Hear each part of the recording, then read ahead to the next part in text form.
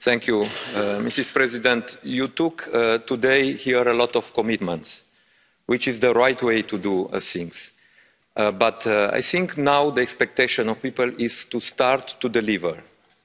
After one year of mandate, after uh, six, more than six months during this crisis, I think now a lot of people wait for, to deliver results, to come with legislative proposals.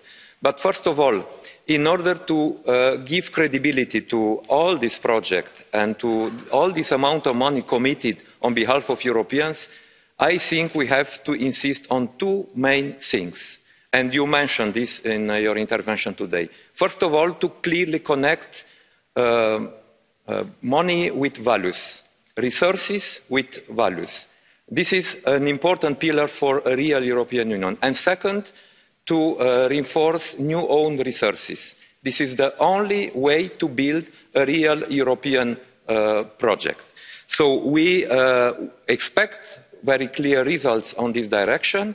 I hope that the Commission will be on behalf of uh, the Parliament in order to fight for, uh, for that. So if the first step in order to rebuild our European credibility was to come with a plan, with a vision, this is done uh, in my opinion. Now the second step is to start to deliver and to implement these results, and uh, we have to work together on it.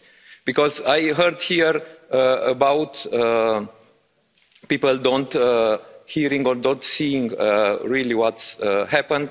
I think only those who don't want Uh, didn't uh, perceive the fact that uh, we really progress on it. Thank you.